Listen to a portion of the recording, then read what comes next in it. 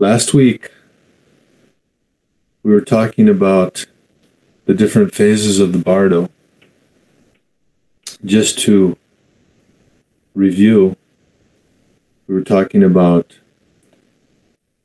after the white essence and the red essence meet in the heart, then all concepts cease, and then we go into something like a, a faint or a swoon. Then, when we wake up from that, we experience the first phase of the bardo of clear light,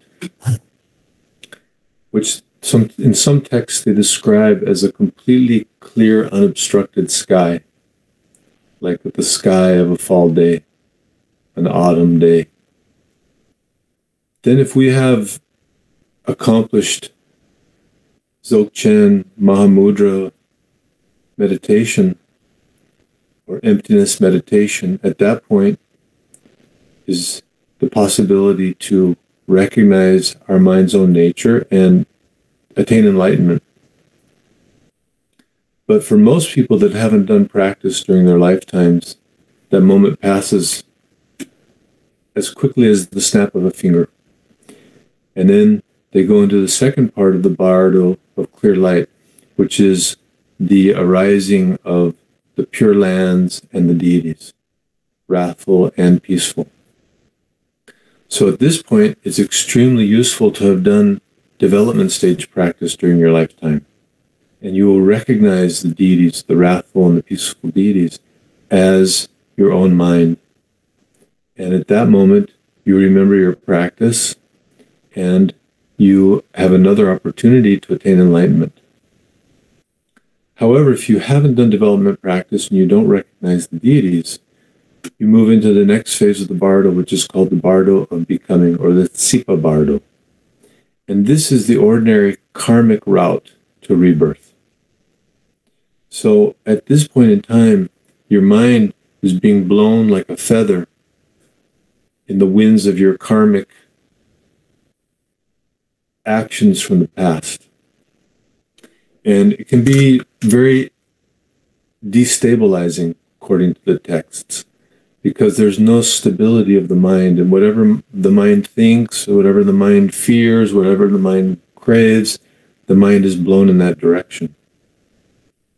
At this point, it's extremely important that you have cultivated the practice of praying when things were difficult during your lifetime and taking refuge in guru yoga and praying to your chosen deity. Then your natural reaction at that point in time will be when things are difficult and scary and you feel lost or confused, automatically you'll turn to prayer. And if you turn to prayer, at that moment in time, you will not be limited by your karmic um, obscurations. And you can remember your guru, and at that point in time, you can also attain liberation.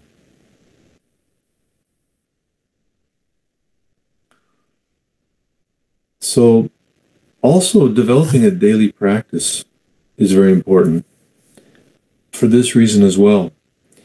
If we have developed a daily practice during our lifetime that every day, every day, every day, we touch practice, that creates a very deep imprint in our mind.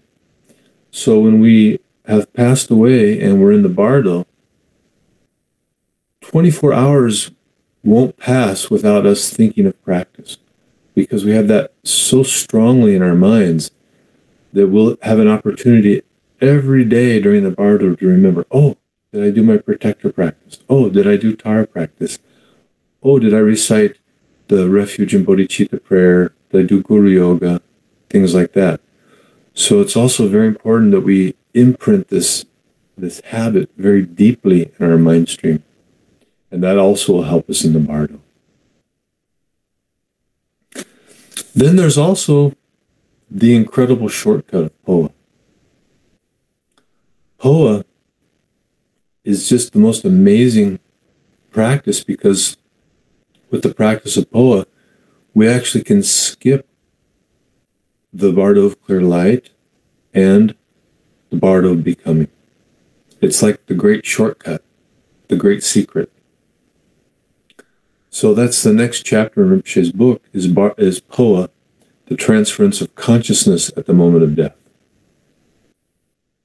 Tibetan Buddhist meditators have a special method of transferring consciousness into Pure Land or the environment of enlightened awareness at the moment of death.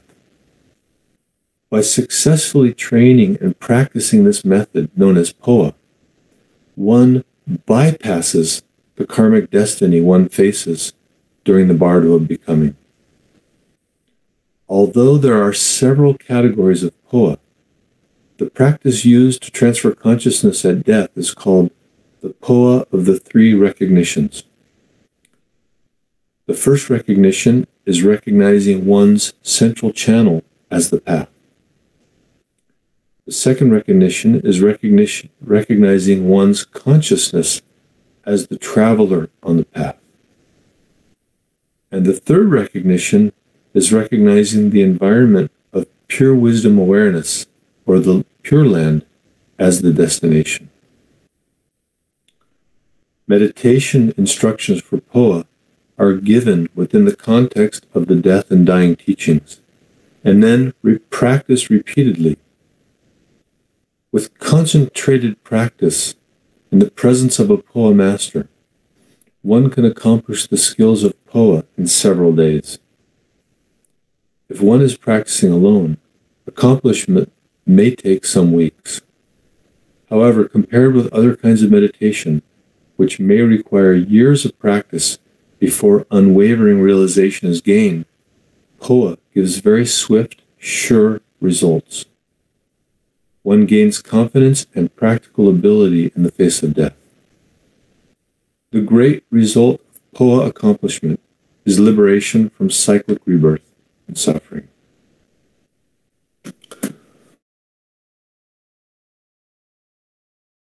Amazing.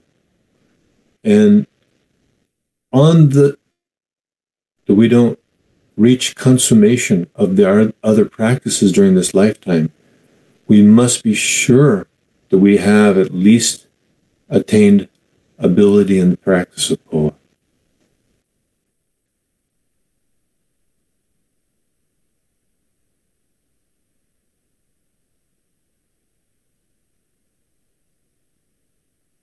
Tendencies take over. And it gives us great confidence at the hour of death because we know what to do. We don't feel afraid and insecure. We've practiced it during our lifetime. We know what to do. We know what's coming and we know where we're going. A lot of times, what causes us anxiety is we feel unprepared or we fear the unknown where we're not going. So imagine death. If we are approaching death unprepared and we have no idea where we're going. It can create great anxiety and fear. By training in Phowa practice, it eliminates those two things. We know we're prepared, we know what we need to do, and we know where we're going.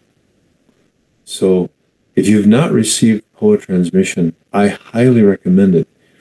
Chagdud Khadro gives the Phowa transmission if you've received Amitabha empowerment, you may ask any of the lamas for Phowa training. They can all train you in Phowa training. And if you don't have access to the empowerment, in the Tibetan Book of Living and Dying by Sogyal Rinpoche, there's an explanation of a different type of Phowa, but equally valid, that you can train on your own.